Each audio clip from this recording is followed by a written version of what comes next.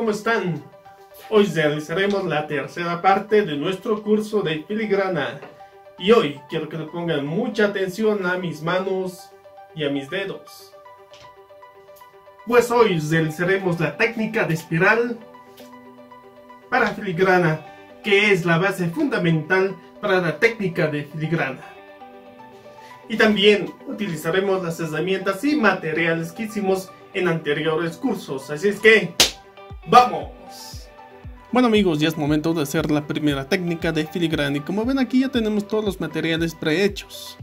Aquí ya hice unas pequeñas cajas, aquí está nuestro alambre previamente laminado filigrana, los tamizadores y también un sonristador para filigranas. Lo primero que haremos será desenvolver nuestro alambre de filigrana previamente laminado en 0.15. Lo sujetaremos de este modo, presionando con el dedo pulgar y el dedo medio. No van a presionar mucho porque necesitamos que el alambre circule cuando lo vayamos a jalar con nuestro punzón rizador. Ahora colocaremos esta pequeña este pequeño aro que hicimos con nuestro alambre del 0.85 laminado a 0.40 colocaremos nuestro alambre al borde de nuestro sonrisador y empezaremos a envolver de este modo. Y presionando con nuestro dedo índice para que así la filigrana no se monte al momento de envolver.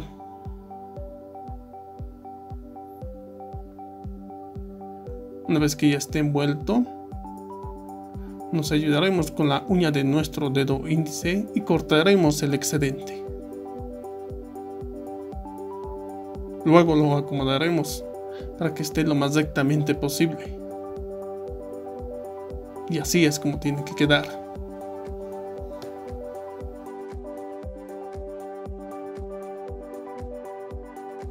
Ahora rellenaremos esta gota. Para y esta vez veremos cómo se maneja nuestro sonrisador, pues lo tienen que manejar de este modo. Lo van a empezar a dar vueltas con los dedos pulgar y dedo medio, el dedo índice irá en la parte de arriba. Daremos vueltas en forma espiral y lo colocaremos a nuestra gota. Cortaremos el excedente y daremos una pequeña vuelta más para que el excedente entre adentro. Como ven aquí. Ahora haremos otro ejemplo. Colocando nuestro alambre de filigrana al borde de nuestro sonrisador, de la punta exactamente. Daremos vueltas y lo colocaremos a nuestra gota. Este es el modo correcto de utilizar nuestro sonrisador para filigranas. Como ven aquí de la misma forma cortaremos el excedente y daremos una pequeña vuelta para que no se note el corte que hicimos anteriormente. Al final lo llenaremos con un pequeño espiral.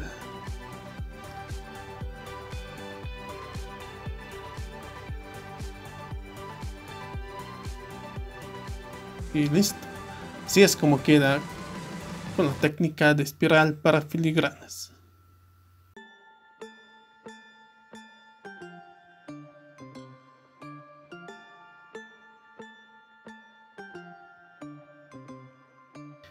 Ahora, y de igual forma rellenaremos esta naveta.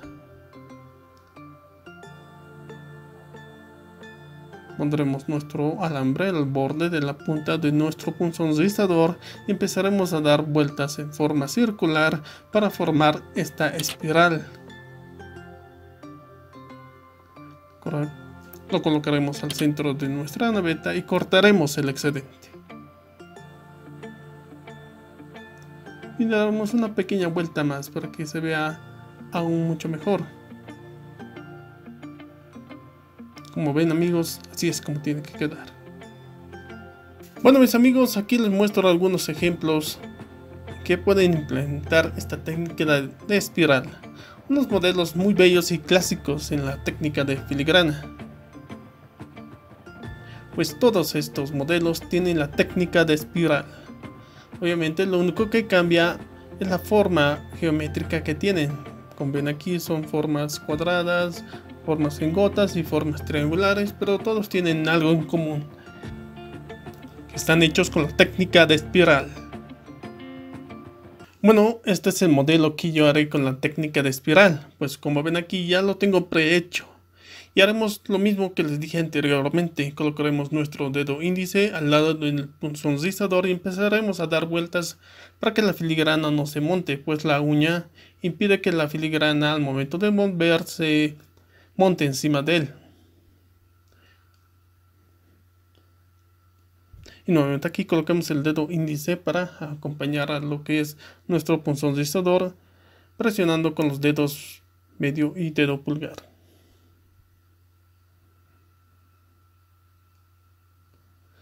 Yo sé que va a ser un poco complicado para algunos o para otros sea fácil, pero todo depende de ustedes. Solo es práctica. Pues entre más practiquen, más rápido y más fácil podrán aplicar esta técnica.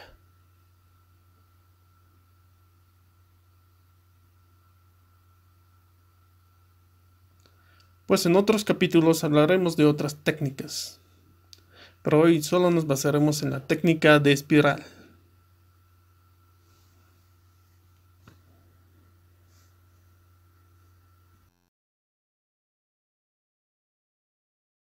Ahora soldaremos nuestras filigranas y esta vez utilizaremos solo bórax mezclado con agua. Y haremos una proporción de 40% de bórax y 60% de agua. Lo mezclaremos con un palillo o algo que tengan de este modo. Y colocaremos nuestras piezas de filigrana dentro del bórax con agua. Lo colocamos en este recipiente y colocaremos un poco de soldadura en polvo. Siempre utilizando nuestro tamizador, pues el tamizador hará que la soldadura en polvo caiga homogéneamente, así no habrá excesos de soldadura.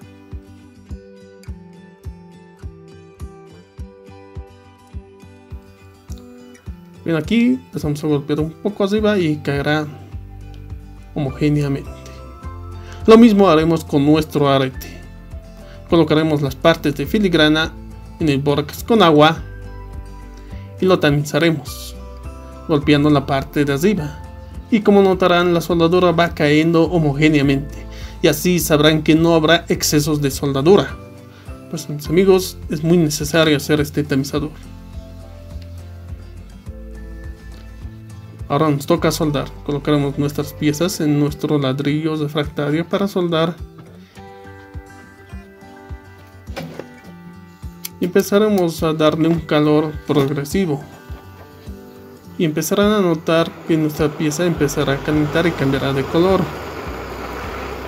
Y habrá un brillo. Cuando noten ese brillo, crean que la soldadura está fluyendo el bórax está ayudando a que la soldadura se distribuya homogéneamente.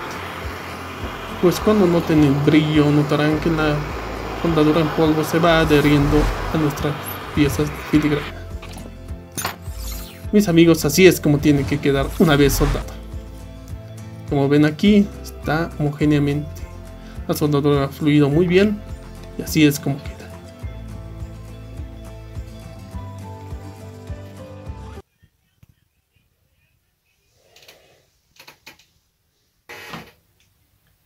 ¿Saben?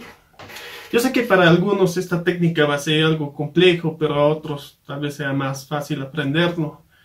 Yo lo sé porque esta técnica yo lo aprendí empíricamente hace unos 14 años atrás.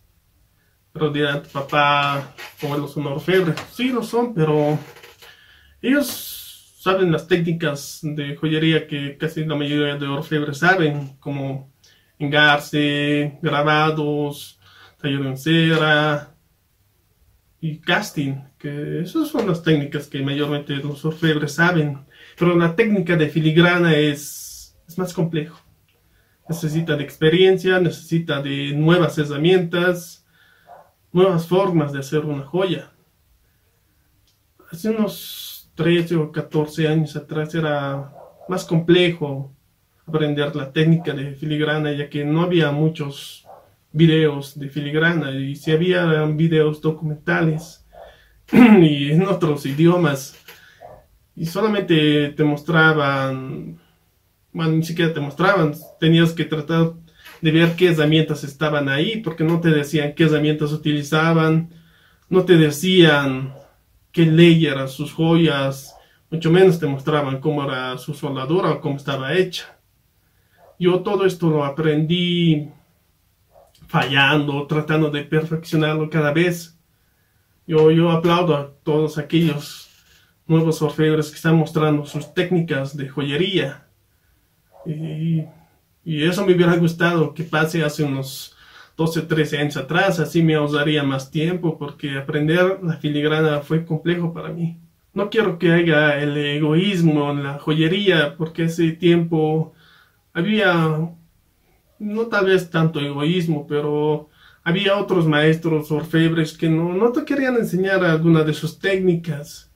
Tal, tal vez por miedo a que le hagas la competencia, pero hoy en día ya hay mucha información acerca de varias técnicas de joyería.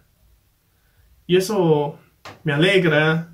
Yo también aprendo otras técnicas viendo así videos como ustedes. Así que mis amigos, si tienen dudas acerca de la técnica de filigrana, si necesitan una ayuda, comenten en este video o mándenme un mensaje. Yo, como siempre, trataré de ayudarlos. Porque créeme, me han mandado varios mensajes a mis, mis contactos en Facebook y hasta en WhatsApp. Y yo con todo gusto les he ayudado. Les he dicho, sí, se hace así, los soldadores así. Y me, me gusta, me encanta ser así.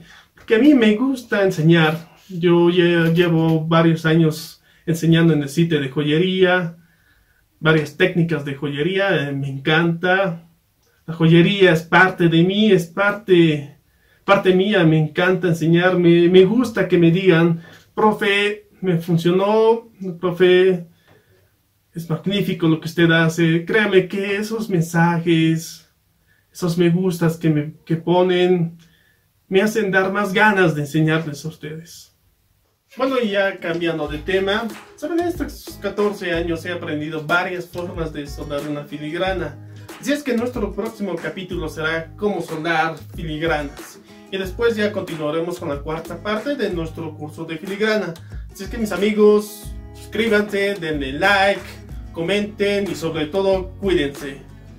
Y conmigo y como siempre será a la próxima.